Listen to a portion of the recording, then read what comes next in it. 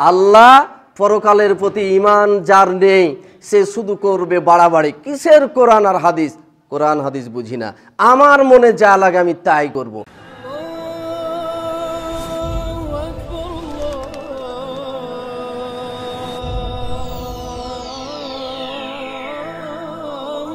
ده والصلاة والسلام على من لا نبي بعده أما بعد فإن خير الحديث كتاب الله وخير الهدي هدي محمد صلى الله تعالى عليه وسلم وشر الأمور محدثتها وكل محدثة بدعة. وكل بدعة ضلالة وكل ضلالة في النار. أما بعد فأعوذ بالله من الشيطان الرجيم.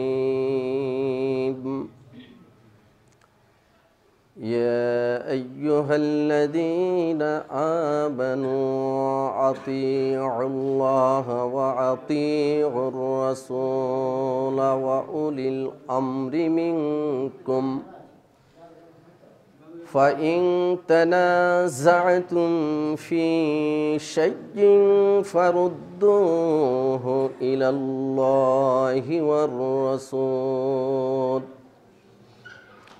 إن كنتم تؤمنون بالله واليوم الآخر ذلك خير وأحسن تأويلا.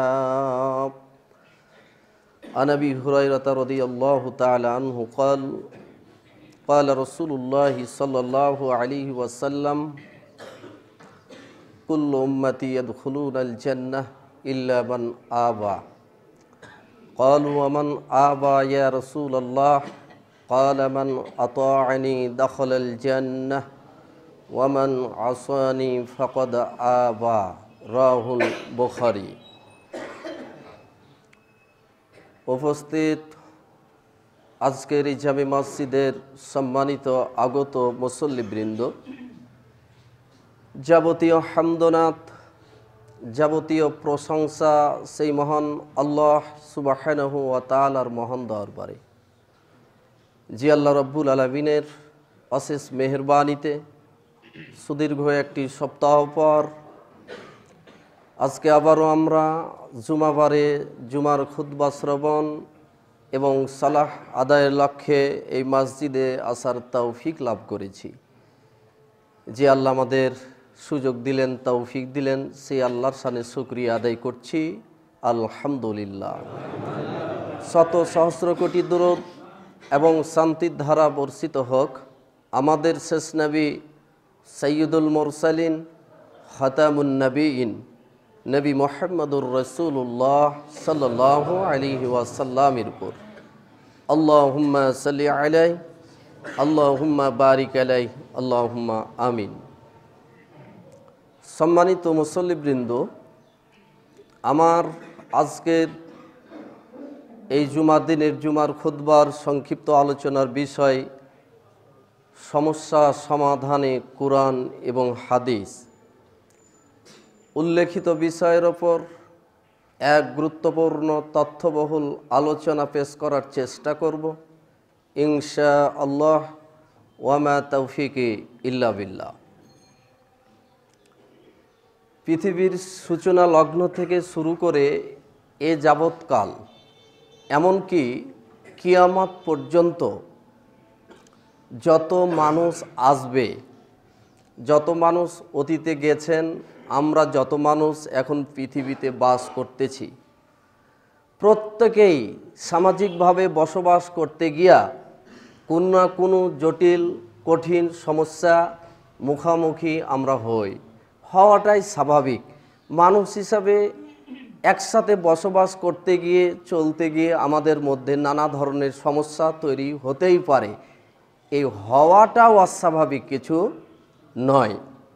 অস্বাভাবিক হলো যখন আমরা কোরআন সুন্নার কাছে মাথা নত না করে ভিন্নভাবে চলার চেষ্টা করি, তখন সমাজে সাধারণভাবে যে সমস্যার তৈরি হয়, সেই সমস্যাটা তখন আর সমাধানে এগোনো যায় না। সেটা পর্যায়ক্রমে আরও মানে খারাপ পরিস্থিতির দিকে এগিয়ে চলে যায়। এই সমস্যা সামাজিকভাবে বসবাস করতে গিয়ে আমরা তো পাপি তাপি মানুষ, অনেক গুনাগার মানুষ, অনেক ভুল করি। ইলিম কালাম কম, আমরা কথা বলি বেশি। এমনকি স্বর্ণযুগের মানুষ যারা পৃথিবীর সর্বশ্রেষ্ঠ মানুষ, নবী করিম সাল্লা সাল্লামের পরেই যারা সর্বশ্রেষ্ঠ মানুষ, তারা হচ্ছেন সাহাবাই কেরাম। তারাও বিভিন্ন সময় বিভিন্ন বিষয় নিয়ে পরস্পরের মধ্যে কি করেছেন? ইকতিলাফ করেছেন। সমস্যার তৈরি হয়েছে, মতানক্য হয়েছে, কিন্তু তাদের মধ্যে খুব সহজেই সমাধান হয়েছে। কেন হয়েছে?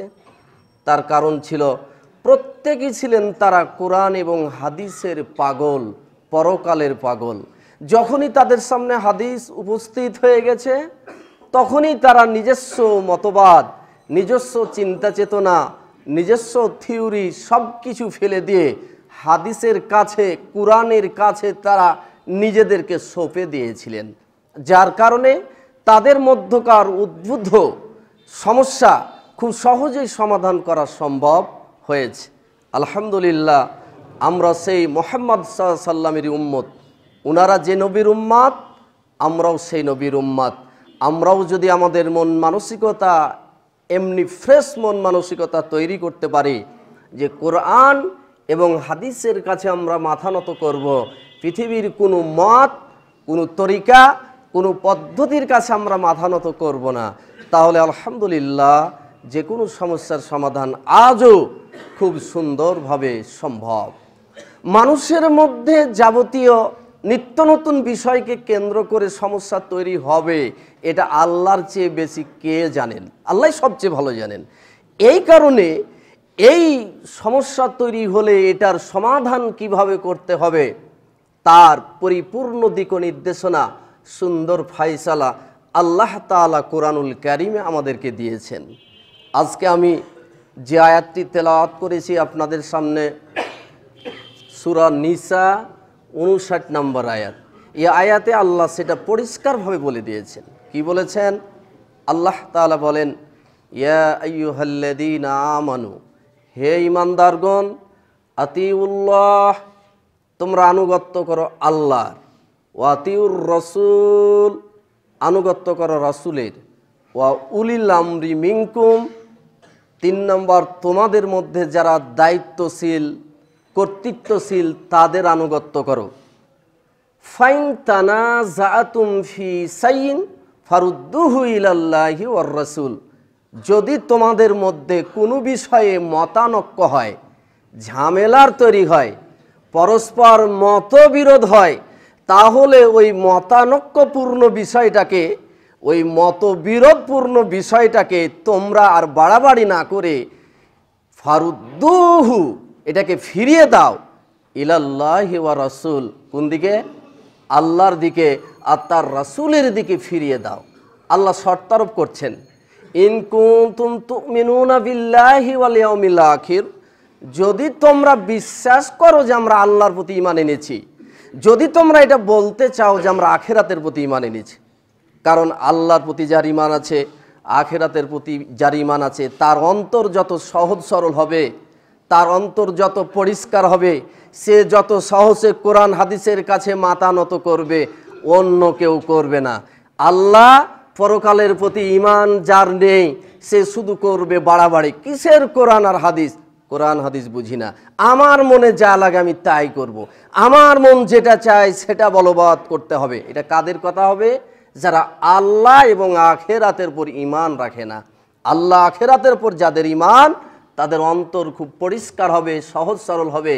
তাই আল্লাহ এখানে আমাদের সামনে সত্যারোপ করছেন, মতানক্যপূর্ণ বিষয়গুলি ফিরিয়ে দাও আল্লাহ এবং আল্লাহ রসুলের দিকে।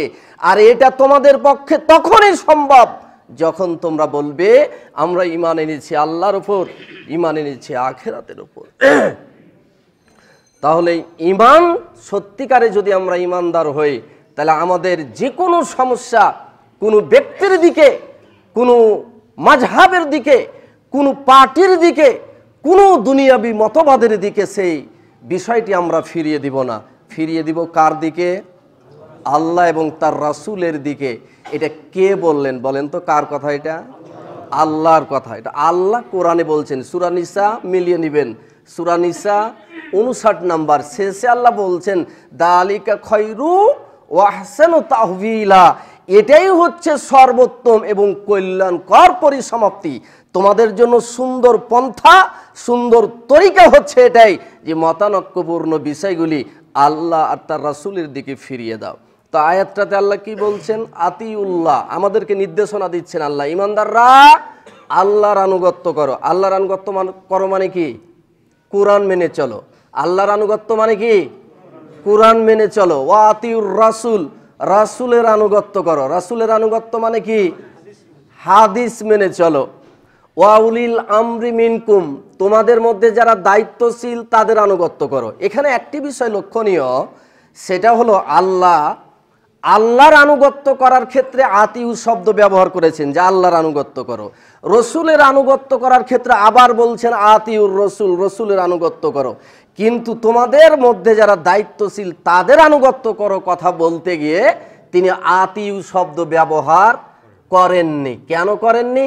হিকমাতটা হলো, আমরা নেতার আনুগত্য ততক্ষণ করব যতক্ষণ তার আনুগত্য আল্লাহ এবং আল্লাহর রাসূলের মোতাবেক হয়। আল্লাহ এবং আল্লাহ রাসুলের উল্টা যদি নির্দেশনা হয়, কোরআন সন্না বিরোধী যদি আমাদের ফাইসালা দেন, তাহলে সেই কথার প্রতি আমাদের আনুগত্য নাই। অনেক সময় যারা দায়িত্বশীল, নেতৃত্ব পর্যায়ে লোক, তাদের কাছ থেকে কোরআন সন্না বিরোধী নির্দেশনা চলে আসতে পারে। তখন আমরা কি করব? সেটার আনুগত্য করব না, কিন্তু সেটার জন্য আবার বিশৃঙ্খলাও করব না। ধৈর্য ধরব এবং আল্লাহর কাছে তাদের জন্য হেদায়তের দোয়া কামনা করব, আল্লাহ। কোরআন সন্না বিরোধী তারা নিয়ম চালু করতেছে, দেশে।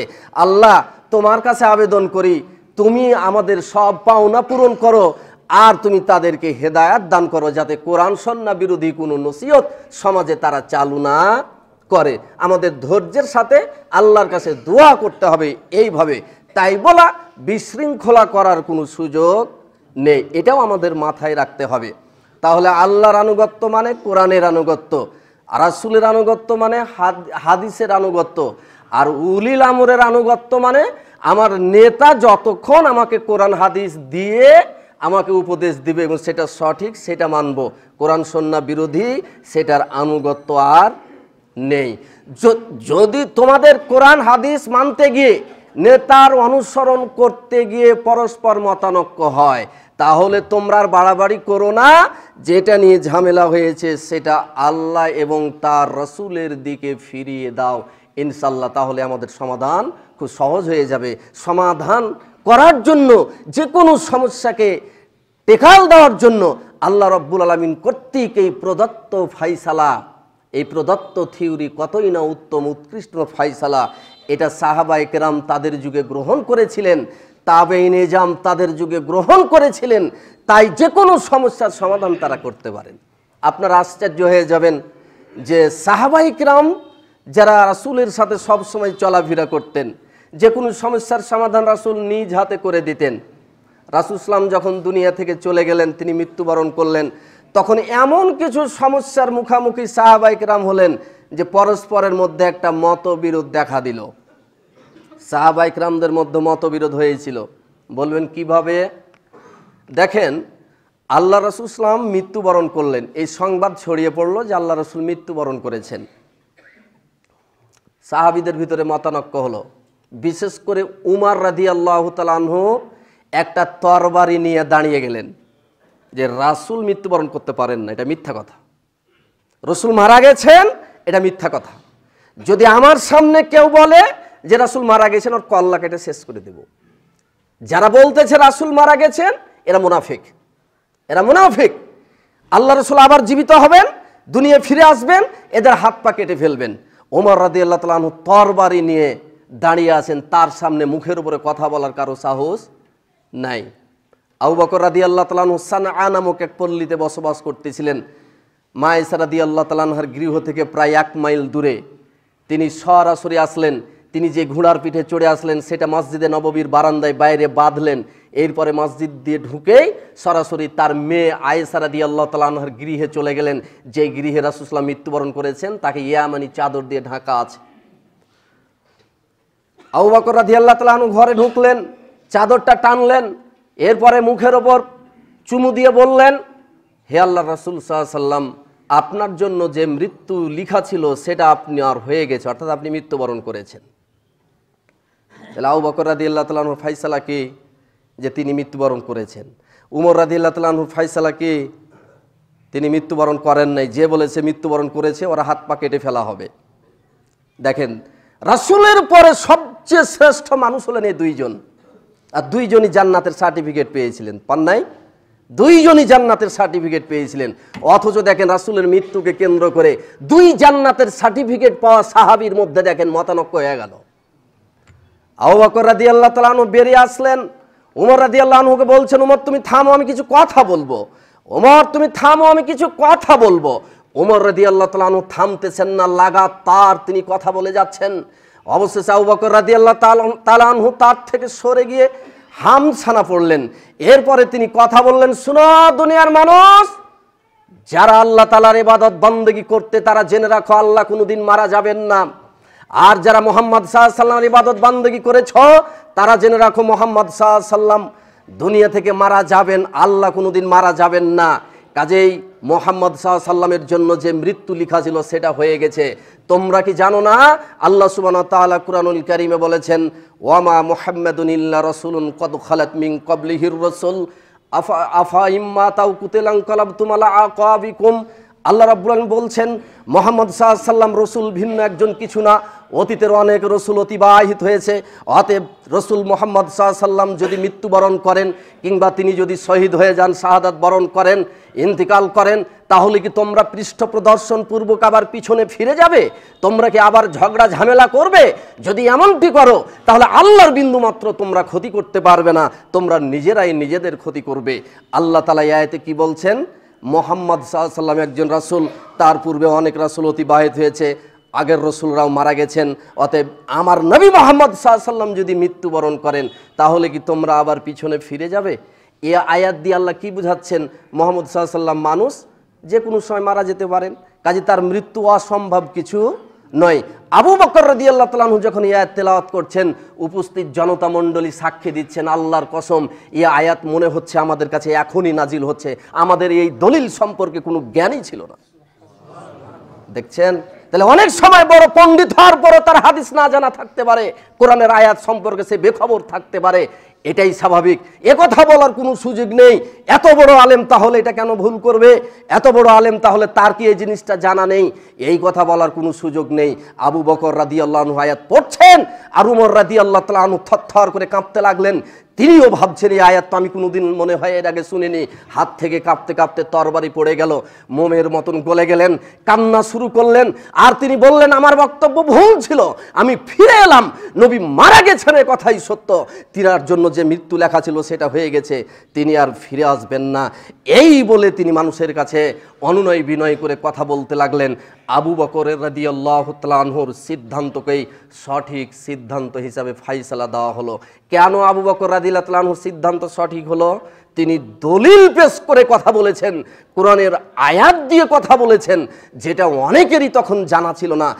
ভুলেই গিয়েছিল যে এই আয়াতটি কেন, কোথায়, কীভাবে নাজিল হয়েছিল। যখনই আয়াত শুনেছেন, মোমের মতো গলেছেন। যখনই দলিল এসে গেছে মনের মতো নরম হয়ে গেছেন। দলিলের সামনে তারা মাথা নত করেছেন। সমস্যার সমাধান এটাই মুসলমানের নীতি। দলিল চলে আসবে, আর কোনো কারোর কথা চলবে না। বাস, দলিলের কাছে মাথা নত করে নিল এটাই মুসলমানের নীতি। আমি কয়েকটা বিষয়ে কথা বলছি, দেখুন। এই যেমন রাসুল সাল্লামের মৃত্যুকে কেন্দ্র করে মতানক্য হলো, কিন্তু দলিলের সামনে সবাই মাথা নত করল। কারণ তবাই কারণ তারা সবাই ছিলেন ওই যুগের শ্রেষ্ঠ মানুষ। এমনকি তাম দুনিয়ার তারা আমাদের শ্রেষ্ঠ মানুষ এবং তারা আমাদের জন্য আদর্শ। কাজেই তারা কোরআন হাদিসের কাছে মাথা নত করে মেনে নিলেন।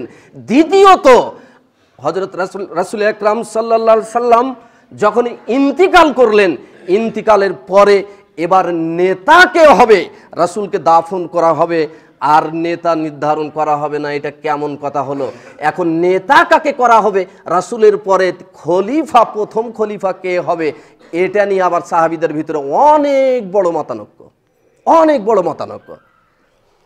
আনসার একটা গোত্র আর মহাদির আর একটা সম্প্রদায়, আপনারা জানেন, মক্কা থেকে মদিনায় যারা হিজরত করে গেল, এরা ছিলেন মহাজির। আর যারা সাহায্য করেছিলেন মহাজিরদেরকে, মদিনায় বসে বসে তারা হলো আনসার। আনসাররা এক জায়গায় হয়ে গেল, কোনো একটা নির্দিষ্ট জায়গায় এক জায়গায় বসে আলোচনা করতে লাগল। নবী করিম সাল্লাম মারা গেছেন, আমাদের মধ্য থেকে একজনকে আমির করতে হবে। আর মহাজিরদের মধ্য থেকে একজন আমির হোক, দুইজনের আমিরের নেতৃত্বে মুসলমান আমরা পরিচালিত হব। সিদ্ধান্তটা ভালো না খারাপ হলো? সিদ্ধান্তটা ভালো হতে পারে, মুসলমানের মধ্যে দুটো আমির হবে। আর ভালো চলবে, ঝগড়া হবে না? ঝগড়া হবে। কিন্তু এটা কারা সিদ্ধান্ত নিচ্ছে? আনসার যারা, তারা এই সিদ্ধান্তটা নিচ্ছে। যারা আনসার, মদিনার যারা মহাজিদদেরকে সাহায্য করেছিলেন। হজরতে আবু বকর রাদি আল্লাহ তালাহ ওমর রাদি আল্লাহ তালাহ আবু বাইদুল জার্রা রাদি আল্লাহ তালাহ তিনজন সাহাবি সহ আরও কিছু সাহাবি এক ধাপ, দুই ধাপ করতে করতে আনসারদের দিকে এগিয়ে গেলেন। বললেন, তোমরা কি বলছো? বলছি, তারা বললেন যে, আমরা বলছি, মিন্না আমিরুম অমিনকুম আমির। আমাদের মধ্য থেকে হবে একজন আমির আর আপনারা মহাজির মহাজিদের মধ্য থেকে হবে একজন আমির। আবু বকর রাদি আল্লাহ তালান হওয়া সন্তোষ প্রকাশ করলেন। তিনি ততক্ষণাৎ ওখানে দাঁড়িয়ে একটা হামসানা পড়ে বক্তব্য শুরু করলেন। বক্তব্য দিতে গিয়ে এক পর্যায়ে বলেন সুনো আনসারগণ সুনো মহাজিরগণ, তোমরা উত্তেজনা শুরু করে দিয়েছ, তোমরা ঝামেলা পাকিয়ে দিয়েছ তোমরা নেতৃত্ব নির্বাচন নিয়ে সরগোল শুরু করে দিয়েছ, মতানক্য করেছ। আমার রসুল এখনও মাটির ওপরে আছে, তিনি মাটির নিচে যাননি। আর এখনই তোমাদের মধ্যে শুরু হয়ে গেছে মতানক্য, শোনো। আমরা সবাই রসুলের উম্মত, রাসুলের আদর্শ মেনে চলবো, এটাই ঠিক। বিশ্বনবী মোহাম্মদ সাল্লাম বলেছেন, আল ইম্মাতুমিন কোরাইস নেতা হবে কোরাইস বংশ থেকে। এখন তোমরা বলো কি করবা? নবী মোহাম্মদ সাল্লাম বলে গেছেন, নেতা হবে কুরাইশ বংশ থেকে আমি নবীর হাদিস শুনিয়ে দিলাম। যখনই নবীর হাদিস বললেন যে কলা রসুল্লাহ সাল্লা সাল্লাম আলাইম্মাতুমিন কুরাইশ নেতা হবে কুরাইশ থেকে সব সাহাবি পানির মতো ঠান্ডা হয়ে গেল এত বড় সরগল, এত বড় মতানক্য নিমিষেই দূর হয়ে গেল। যখনই আবু বকর হাদিস শুনিয়ে দিলেন আলাইম্মাতুমিন কুরাইশ নেতা হবে কুরাইশ থেকে সঙ্গে সঙ্গে সবাই ঠান্ডা হয়ে হাদিসের প্রতি দরদ দেখিয়ে ভালোবাসা ভক্তি দেখিয়ে কারণ তারা জানতেন ইচ্ছাকৃতভাবে রাসুলের হাদিস চলে আসার পরও যদি রাসুলের হাদিসকে ইনকার করা হয়, মেনে না নেওয়া হয়, ডানে বামে যুক্তি পেশ করা হয়, রসুলের উম্মত হিসাবে আর থাকতে পারব না। বিশ্বনবী বলে গেছেন, মান রগেবান সন্ন্যাতি ফালাইসা মিন্নি আমার সন্ন্যাত থেকে যারা বইমুখ হবে, আমার আদর্শ থেকে যারা মুখ ঘুরিয়ে নিবে, তারা কোনোদিন আমার উম্মত হতে পারবে না। অন্য হাদিসে রাসূল বলেছেন কুল্লুম্মাতিয়াদ খুলুনাল জান্না ইল্লা মান আবাব প্রত্যেকে আমার উম্মতেরা জান্নাতে যাবে, তবে যারা আমাকে অস্বীকার করেছে তারা জান্নাতে যাবে না। কেইলা আমান আবাইয়া রাসূল আল্লাহ আল্লাহর নবীকে প্রশ্ন করা হলো, হে আল্লাহ রাসূল, আপনার সুন্নাতকে অস্বীকার কে করেছে? তিনি বললেন, মান আতানি দাখালাল জান্না আমার কাজ কথাকে যারা সর্বাবস্থায় মেনে নিয়েছে তারাই জান্নাতে যাবে। আর যারা অমান আসানি ফাঁকা দাবা আমার সুন্নাতের যারা অবাধ্য হয়েছে তারাই মুখ ফিরিয়ে নিয়েছে, তারাই অস্বীকার করেছে, তারাই যাবে জাহান্নামে। পরিষ্কার সাহাবাদের কাছে দলিল ছিল, রসুলের সন্ন্যাসার পরও যদি মানতে না পারি, তাহলে মুক্তি আমাদের নেয় তাই যখনই আবু বকর রসুলের হাদিস শুনিয়েছেন, সঙ্গে সঙ্গে সব ঠান্ডা হয়ে গেছেন, বলছেন, আর আমরা বলব না, আমাদের মধ্য থেকে একজন আমির। কারণ আনসার যারা ছিল, ওরা কি কেউ কুরাইশ বংশের? কুরাইশ বংশ কোথায় আছে? মক্কা আছে না? মদিনা লোক কি কে কুরাইশ বংশের? যখনই হাদিস পৌঁছেছে, মদিনার লোক আনসাররা সঙ্গে সঙ্গে ঠান্ডা হয়ে গেছে। আবু বকর রাদি আল্লাহ তালার হাতের আনুগত্যের শপথ নিয়ে বললেন, তাহলে আপনি কুরাইশ বংশের মানুষ, নবীর পরে সর্বশ্রেষ্ঠ মানুষ, আপনি আমাদের খলিফা। সব সাহাবি আবু বকরকে খলিফা হিসাবে মেনে নিলেন। ঝামেলা দূর হয়ে গেল। সুহান আল্লাহ বলবেন না? সুবাহান আল্লাহ সুবাহান সমস্যা রাসুলের মৃত্যুর পর আরেকটাকে কেন্দ্র করে হয়ে গেল। আল্লাহর রসুলাম মৃত্যুবরণ করলেন কোথায়? মায়েসারাদি আল্লাহ আনহার গৃহে মায়েসার বিছানার ওপরে তার মৃত্যু হলো। এবার তাকে দাফন করা হবে কোথায় এটা নিয়ে সাহাবিদের মধ্যে অনেক মতানক্য। তাকে কোথায় দাফন করা হবে? রসুল তো নির্দেশনা দিয়ে যাননি যে আমাকে বাকিউল গারকাদে দাও, কি আমাকে উমুক জায়গায় দাও, কি উমুক নবীর পাশে দাও, কি উমুক স্থানে আমাকে কবর দাও, এরকম কিছু তিনি বলে যাননি। এখন কোথায় দাফন করা হবে? সাহাবিরা বিভিন্ন জন বিভিন্ন মত পেশ করতে লাগলেন। কেউ বললেন, অমুক জায়গায় দেওয়া হোক। আরেকজন বললেন, অমুক জায়গায় দেওয়া হোক। আরেকজন বললেন অমুক জায়গায় দেওয়া হোক। এভাবে সাহাবিদের মধ্যে শুধু মতানক্য আর মতানক্য। এখানেও আউকরাদি আল্লাহ তালাহ ভূমিকা রাখলেন। তার একটি হাদিস জানা ছিল। হাদিসটা কি? তিনি সাহাবিদের সামনে এসে বললেন, শোনো আল্লাহ রসুসলাম মৃত্যুবরণ করেছেন আর তোমরা মতানক্য শুরু করেছ। অথচ আমি রসুসলামকে বলতে শুনেছি, তিনি বলেছেন, নবীরা যেখানেই মারা যাবে, সেখানেই তাদের দাফন হবে। সুবান আল্লাহ বলবেন না? সুবাহান আল্লাহ যেখানেই নবীরা মারা যাবে সেখানে কি হবে? দাফন হবে। তাহলে আয়েসারাদি আল্লাহ তালা আনহার গৃহে তার বিছানার ওপরে তিনি মৃত্যুবরণ করেছেন। রসুলের হাদিস সাহাবিদের সামনে পৌঁছে গেছে। আর কারও সাহস আছে যে কথা বলতে পারে, যে না আয়েসার ঘরে মাটি হবে না, অন্য জায়গায় মাটি হবে। আর বলার সাহস আছে কারও?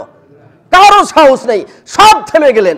এক বাক্যে মেনে নিলেন। তাহলে বিছানা হটানো হোক, এখানেই কবর খোঁড়া হোক। রাসুসলামের ওখানেই কবর খোঁড়া হলো। রাসুল একরাম সাল্লাহ সাল্লামকে সেখানেই দাফন করা হলো। সুবাহান সুবাহান আল্লাহ হামদিহি এইভাবে যখনই সাহাবিদের মধ্যে কোনো বিষয় নিয়ে মতানক্য হয়েছে, তখনই তারা আল্লাহ, ওই যে আল্লাহ বলছেন, ফাইন রাসূল। যখনই তোমাদের মধ্যে কোনো বিষয় নিয়ে ঝগড়া হবে, মতানক্য হবে, মতবিরোধ হবে, তোমরা এটা আল্লাহ আর আল্লাহর রাসূলের কাছে ফিরিয়ে দাও। সেটা থেকেই সমাধান নিয়ে তোমরা কি করো? দুনিয়াতে জীবন যাপন করো। কি সমাধান হয়ে যাচ্ছে না? সবাই তারা আল্লাহ আল্লাহ রাসূলের কাছে ফিরে যাচ্ছেন না। দেখেন, প্রথমে আবু বকর দলিল দিলে কোরআন দিয়ে, সব মেনে নিল। পরের দুইটা সমাধান হচ্ছে আবার কি দিয়ে? হাদিস দিয়ে। মেনে নিলেন না? সবাই মেনে নিলেন। চার নম্বর আর একটা বিষয় দেখায় আমি, দেখেন, এখানে উমর রাদি আল্লাহ তালানহুর সাথে হজরত আউ বকর রাদি আল্লাহ তালানহুর মতবিরোধ।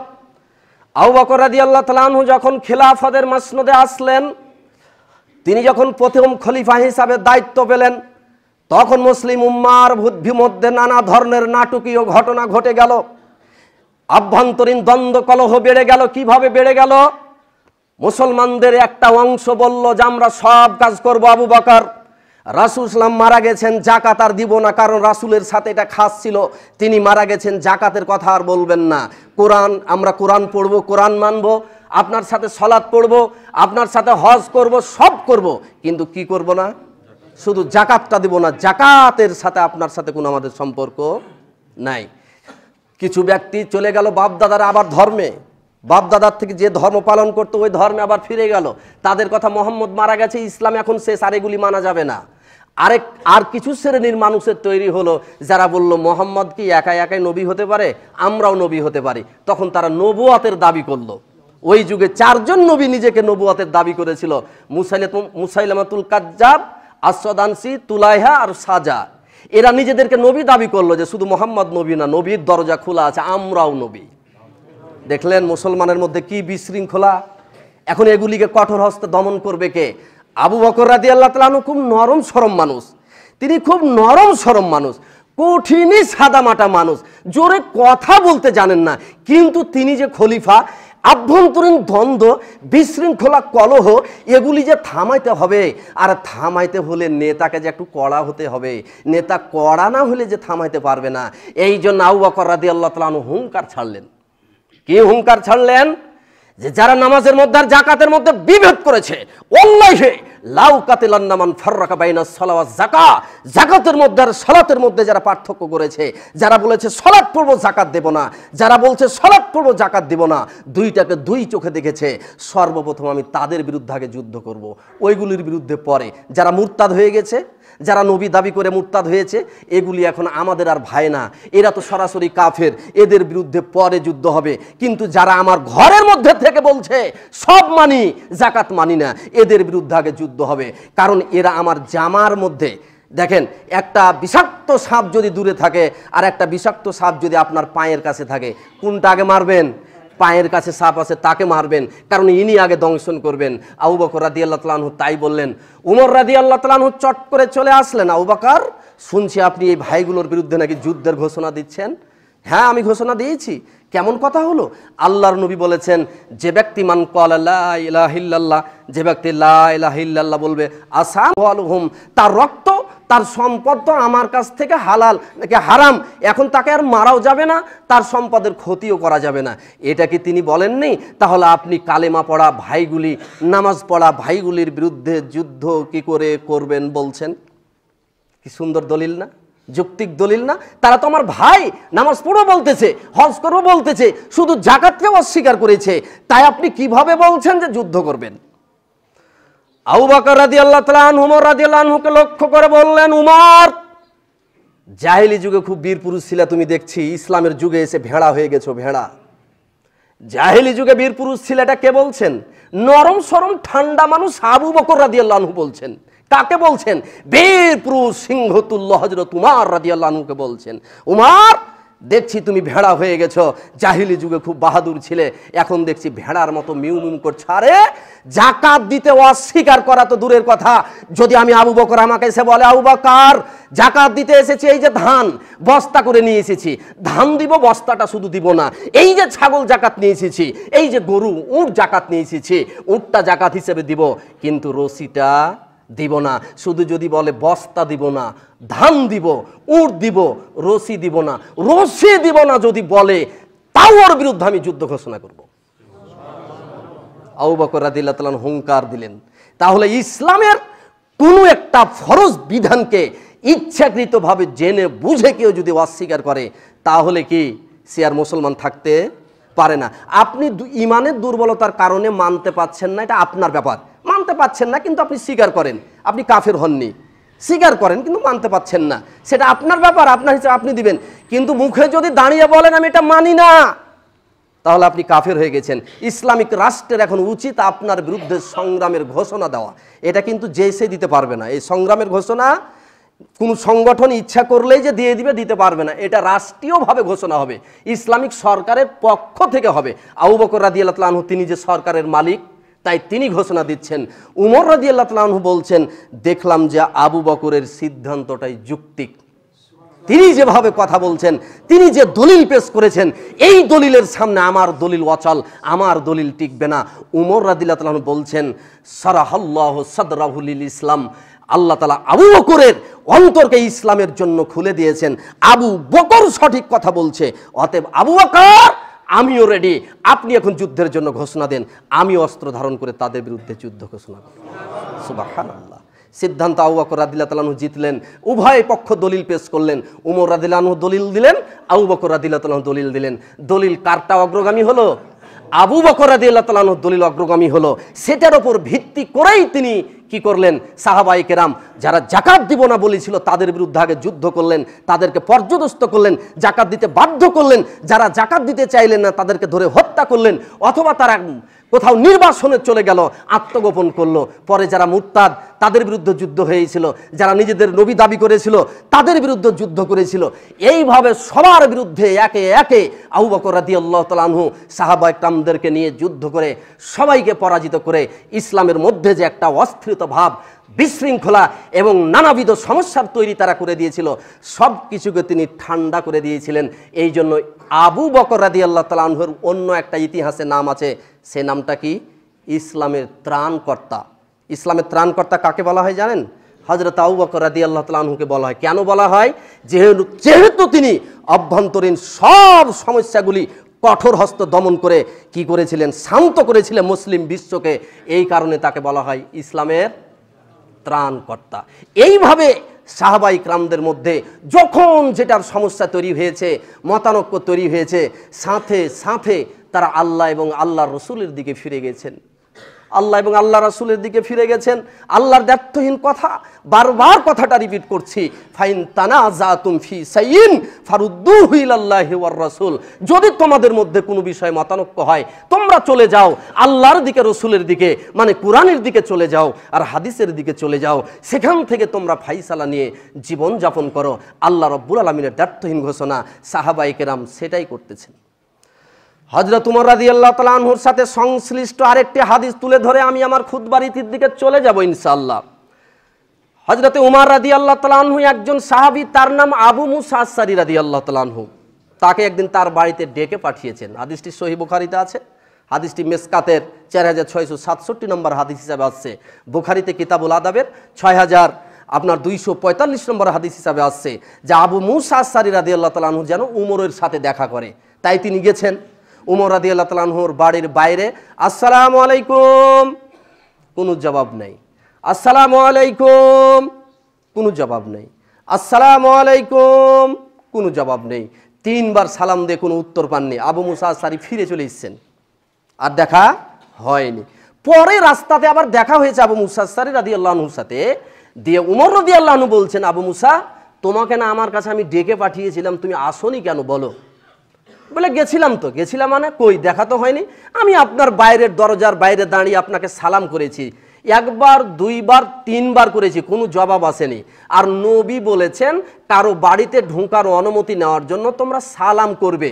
একবার, দুবার, তিনবার। তিনবার করেও যদি অনুমতি না পাও, তো ফিরে চলে আসবে। বাড়িতে যেতে হবে না।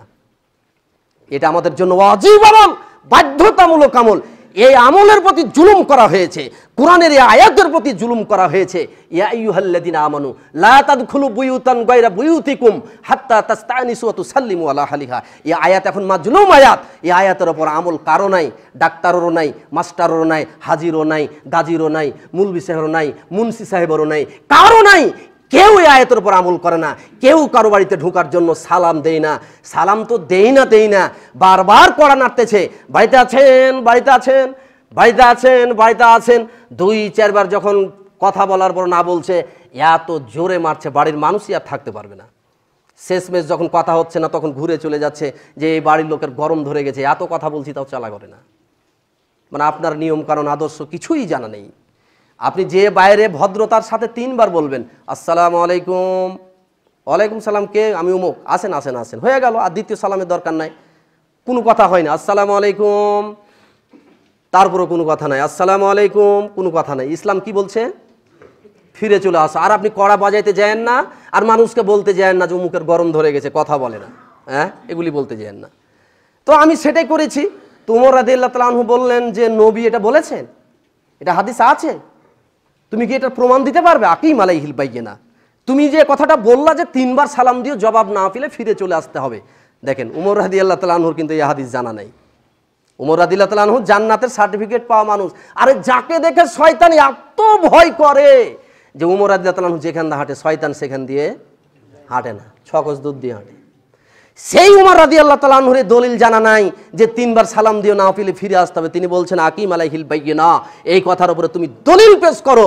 দলিল যদি পেশ করতে না পারো যে নবী এটা বলেছেন, তাহলে তোমাকে আমি তোমার পেট পিঠকে চিরে তোমাকে হত্যা করব। দেখছেন? কি কঠোর। নবীর নামে কেউ জাল হাদিস বানাইছে কিনা? নবীর নামে কেউ মিথ্যাচার করছে কিনা? এটাও উমর রাদিল্লাহ তালাহু আবার কঠোরভাবে দেখ পর্যবেক্ষণ করছেন। যে তুমি যদি প্রমাণ পেশ করতে না পারো, তোমার অবস্থা খারাপ হয়ে যাবে। তিনি ডরিয়ে গেছেন ছোট ছেলে আবু মুসাসারি উবাইবনে কাব একটা মজলিস করতেছিলেন, এখানে হাঁপাইতে হাঁপাইতে চলে এসেছেন। কি ব্যাপার? তুমি এরকম হয়ে গেছো, সুখে দিয়েছ চেহারা। বলছে আর বলি না, উমরের সাথে দেখা যায়, আমাকে কথা বলছে, আমাকে হত্যা করবে। আর আমি তো এখন জানি না, আর কেউ জানে কিনা, কিন্তু আমি তো ঠিকই জানি যে নবী এটা বলেছেন।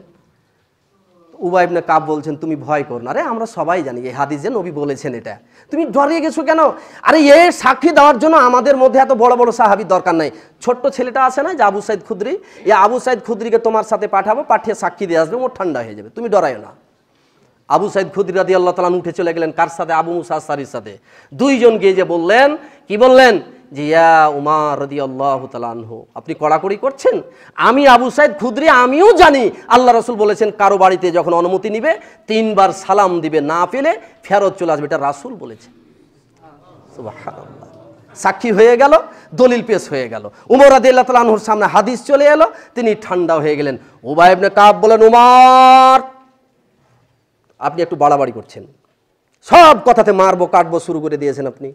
কথায় কথায় রসুলের সাহাবিদেরকে মারতে চান, আপনি ঠান্ডা হয়ে কথা বলবেন। এক সাহাবি আর এক সাহাবিকে কথা বলছেন। আপনি একটু নরম হয়ে কথা বলবেন। অল্প কথাতে সামান্যতি সাহাবিদেরকে মারবো, কাটবো বলছেন। ব্যাপারটা কি? উমর আদিল্লাহ বলছেন সুবাহান আসলে তো কোনো সাহাবিকে মারা কাটা আমার উদ্দেশ্য না, আমি তো মারবো, কাটবো কেন? আমি এই কথাটা একটু কড়াকড়ি করেছি এই জন্য যে রসুলের নাম নিয়ে কি কেউ মিথ্যাচার করছে নাকি? রসুলের নামে কেউ হাদিস বানাইছে নাকি?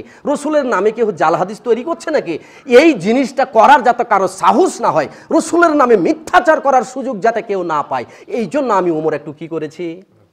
কড়াকড়ি করেছি। সুবাহান আল্লাহ আল্লাহ ক্ষমা করুক। আল্লাহ আমাদেরকে ক্ষমা করুক। কোরআন সহিহাদিসের কাছে মাথা নত করার তৌফিক দান করুন। শুনেন, আমাদের চরিত্র থেকে আমাদেরকে ফিরে আসতে হবে। কথায় কথায় আমরা বড় হুজুর কি বলেছে সেটা মানি। কথায় কথায় আমার দলের আদর্শ আমি মানি, নেতার আদর্শ মানি। আমার বাপদাদাতে কি বলেছে আমি সেটা মানি। আরে তোমাদের কথা মানতে চাই না, বাপদাদা যা বলেছে সেটা মানি। আজকে মীমাংসা সম্ভব নয় কেন? আজকে জটিলতা বাড়ছে কেন? একটাই কারণ, সাহাবিদের মতো নীতি তৈরি করতে পারেনি, আদর্শ তৈরি করতে পারেনি, আদর্শ করেছে, নিজের একটা রাস্তা বানিয়ে নিয়েছি, নিজের একটা পথ তৈরি করেছি, নিজের একটা যাতায়াতের রাস্তা তৈরি করেছি।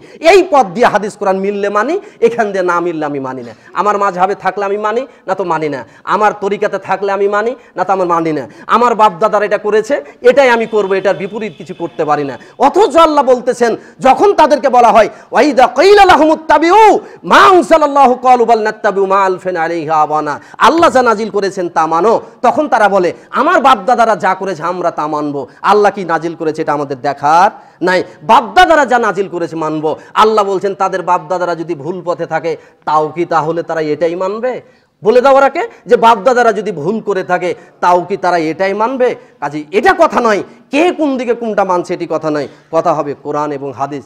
শুনুন, জ্ঞান না থাকলে মুখকে বন্ধ করে রাখবেন। কোরআন, হাদিস ছাড়া কথা বলবেন না। কথা বলবেন, কোরআন, হাদিস দিয়ে কথা বলেন। ক্ষমতা দিয়ে কথা বলবেন না। শক্তি দিয়ে কথা বলবেন না। দল দিয়ে কথা বলবেন না। আপনার মাঝহাব দিয়ে কথা বলবেন না। অন্য কোনো রাস্তা দিয়ে কথা বলবেন না। মুখ খুলতে হলে কোরআন, হাদিস দিয়ে কথা বলুন। কোরআন, হাদিস জানা নেই। চুপ করে বসে থাকুন। এটাও আপনার জন্য কল্যাণকর। কিন্তু মুখ খুলতে গেলে আপনার জন্য বিপদ। আপনি নিজের ধ্বংস ডেকে আনবেন। কারণ আল্লাহ বলছেন, মা আলফিদু মিন কৌলিন ইল্লাহ মানুষের এমন কোনো কথা নাই যেটা ফেরেশতারা রেকর্ড করেন না।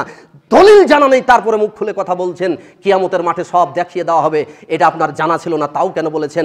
আল্লাহ সুরা বানী ইসরাইলের ছত্রিশ নম্বর আয়তে বলছেন, ওয়ালা তাকফুমা লাইসালাকা বিহি ইলম, ইন্না সামওয়াল বাসার আল ফুয়াদা কুল্লু কানান হুমাসুলা যেই ব্যাপারে তোমাদের কোনো জ্ঞান নেই, সেই ব্যাপারে তোমরা মুখ খুলতে যেও না। কারণ তোমার কান, তোমার চোখ, তোমার অন্তঃকরণ সব কিছু আল্লাহর কোর্টে জিজ্ঞাসিত হবে। চোখ দিয়ে কি করেছ? কান দিয়ে কি করেছ? অন্তর দিয়ে কি ভেবেছো? প্রত্যেকটার হিসাব নেওয়া হবে। অতএব ইমাম বুখারি রহমাউল্লাহ কেতাবুল ইলমে একটা অনুচ্ছেদ রচনা করেছেন। সেটা কি?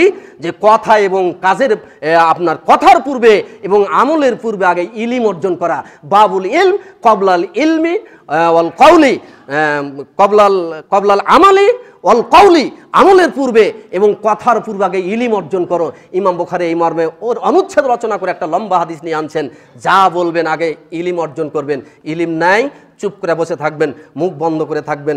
এটাও আপনার জন্য কল্যাণকর। অন্যথায় কিয়ামতের মাঠে অত্যাকু ইয়ামাল্লাহ তাজিন আফসুন আফসি সাই ওয়ালাইক বলমিন হাসাবাত ওয়ালাইক খজাদুম আদলুম উম, ওয়ালা ইউখাদু আদু ওয়ালা সরণ এমন একটা দিনকে ভয় করুন যেই দিনে ঠেকে যাবেন যেই দিনে কে কারও উপকার করতে পারবে না যেই দিনে কেউ চার পাশে উপকার নিয়ে গিয়ে আসতে পারবে না সেই দিন আমরা যেদিন ঠেকে যাব সেই দিন শুধু আঙ্গুল কামড়াতে থাকব আফসুস করতে থাকব হায় আল্লাহ কেন এটা নিয়ে বাড়াবাড়ি করেছিলাম? আমার ইলিম ছিল না তাও কেন মতানক করেছিলাম? তাও কেন জটিলতা পাকিয়েছিলাম? তাও কেন মুখ খুলে কথা বলেছিলাম? শুধু ইলমের লোকেরাই যদি কথা বলতো আর আমরা সেটাকে বিবেচনা করে চলতাম তাও তো একটা হতো কেন জ্ঞান নাই তা কথা বলেছিলাম? আল্লাহ, তুমি আজকে না রক্ষা করো। কিন্তু সেই দিন বাঁচতে চেয়ে এত আল্লাহ বাঁচাইবেন না। সেই দিন দুনিয়ায় ফেরত আসারও কোনো সুযোগ থাকবেন না। আল্লাহ আমাদেরকে বুঝার তৌফিক দান করুন। আল্লাহ আমাদেরকে রক্ষা করুন। আমরা যা বলব, যা মানবো, কোরআন সহি সন্ন্যার আলোকে যেন কথা বলি, কোরআন সহি সন্ন্যার কাছে যেন আমরা মাথা নত করে আমাদের বাকি জিন্দগি পরিচালনা করতে পারি। যাবতীয় সমস্যার সমাধান এইভাবে কোরআন সন্ন্যার আলোকে যেন করার আল্লাহ আমাদের তৌফিক দান করেন। আল্লাহ মাবিন ওয়া আখির আলহামদুলিল্লাহ।